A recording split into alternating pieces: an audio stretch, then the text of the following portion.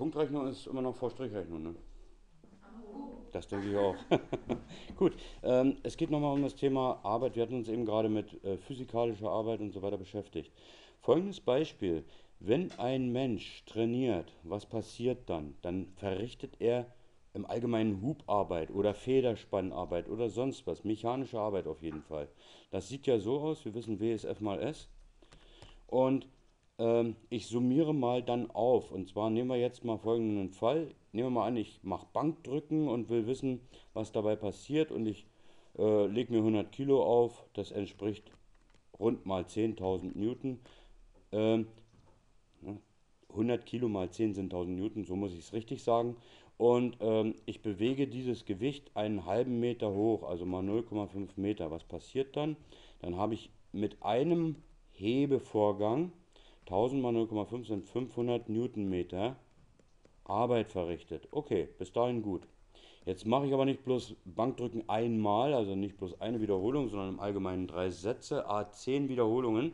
Das hieße, ich muss die Arbeit mal 10 nehmen und mal drei Sätze. Mal 10 geht noch, das sind 5000 mal 3 ist dann auch nicht weiter schlimm, das sind dann 15.000. Das entspricht also 15.000 Newtonmeter, die ich dabei äh, an physikalischer Arbeit verrichtet habe. Das ist ein Satz, das ist eine Übung, jetzt nur zum Beispiel das Bankdrücken. Ich habe das mal selber an mir äh, beobachtet, dass ich beim Training natürlich bei unterschiedlichen Übungen immer wieder im Durchschnitt etwas 0,5 Meter hochhebe. Ob ich das beim Klimmziehen oder sonst was mache, egal welche Übung, mal ist es ein bisschen mehr, mal ist es ein bisschen weniger. Ich bewege irgendwelche Gewichtskräfte, Gewichte und mit Kraft immer ungefähr einen halben Meter hoch und ich habe mal überlegt, dass ich bei allen Übungen zusammen mindestens eine Arbeit von äh, folgender Größe bewerkstellige. Und zwar, man, äh, das machen Gewichtheber gerne bei ihrem Training, dass sie sagen, wie viel Trainingsumfang hast du heute so bewegt? Das wären zum Beispiel 10 Tonnen, das heißt 10.000 Kilogramm. So, und das mal rund 10 Meter pro Quadratsekunde. Das ergibt jetzt automatisch Newton, das weiß ich auch. Und das mal 0,5 Meter. Rechnen wir mal ganz schnell aus, was passiert. Das sind 10.000 mal 10 sind sogar 100.000 mal 0,5 sind plus 50.000 Newtonmeter. Nochmal ganz schnell. Das und das ergibt Newton und das Meter kommt da hinten an. Der Rest, der Rest sind Zahlen. 50.000 Newtonmeter. Jetzt könnte man ja sagen, das ist ganz schön viel. Ja, nach 10 Tonnen, da schwitzt man ganz schön, aber das ungefähr verdoppelt ist so der typische Trainingsumfang für Männer. Ähm, die Damen machen es ähnlich, die machen dann eben mehr Wiederholungen. Also das ist wie gesagt alles zusammengefasst, alle Gewichte zusammengefasst, alles zusammengezählt, mal mehr, mal weniger und immer mal im Durchschnitt 0,5 Meter bewegt. So, was ist das aber hier, diese 50.000 Newtonmeter? Das wissen wir. Wir können nämlich diese Energie auch als chemische Energie ausdrücken, und zwar entspricht das 50.000 Joule.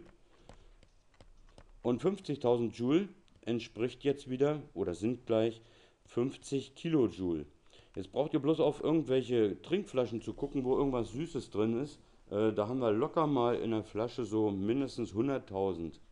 Äh, 100 Kilojoule bis 200 Kilojoule. Meistens steht dann auch pro Glas oder pro 100 Milliliter und so weiter. Wenn man das verfolgt, kriegt man eigentlich einen Schreck und sagt, eigentlich ist es ja Wahnsinn, was wir alles zu uns nehmen. So viel Energie, das kann man ja gar nicht verbrauchen.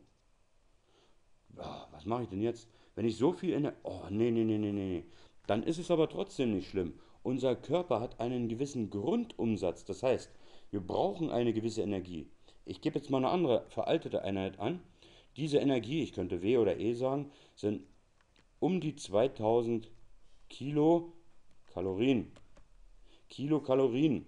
Ähm, wie kommt man damit klar? Da gibt es eine Umrechnungseinheit, das ist Hausaufgabe. Ihr guckt mal bitte nach, wie viel, das ist Hausaufgabe, wie viel entspricht das in echter Einheit, nämlich wie viel Kilojoule. Das ist ganz wichtig. Aber zur Beruhigung, egal was hier für eine Zahl rauskommt, Kilo heißt ja immer 1000, ne? Kilo heißt ja auch 1000.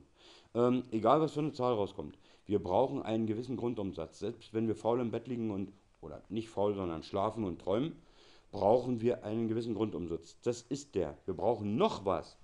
Wenn wir zum Beispiel Muskeln aufbauen wollen, dann brauchen wir unbedingt zusätzliche Energie. Denn der Umwandlungsprozess von der zugeführten, meinetwegen ganz einfachen Energie in Form von Zucker zu dann Eiweiß, der ist dermaßen energieintensiv und das lässt sich mal nachforschen, da könnte man sich mal drüber Gedanken machen. Also, große Frage zu Hause, wie viel ist der Grundumsatz? Ich schreibe mal Grundumsatz dahinter. Den also der Körper braucht, bloß damit er lebt und im Bett liegen kann. Dann bewegen wir uns am Tag, das kommt noch dazu. Und dann brauchen wir noch zusätzliche Aufbauenergie für Muskeln. Und dann wird es spannend. Das bloß nochmal zur mechanischen Arbeit als kleinen Bogen, um mal drüber nachzudenken, ob wir zu viel oder zu wenig essen. Vorhin hatten wir das Wort, ähm, naja, der frühstückt ja nicht. Und da haben ja die Eltern, meistens sagen es Großeltern, oh, das ist ja was schlimm, da geht der Magen kaputt und so weiter. Ich gebe bloß nochmal äh, einen kleinen Gedankenanstoß. Wozu hat uns der liebe Gott äh, das Gefühl des Hungers und des Durstes geschaffen? Damit wir dann essen, wenn wir Hunger haben und nicht dann, wenn es 12 Uhr Mittag ist. Ne? Das bloß nochmal ne, nebenbei. Ich wünsche euch eine schöne Pause. Tschüss.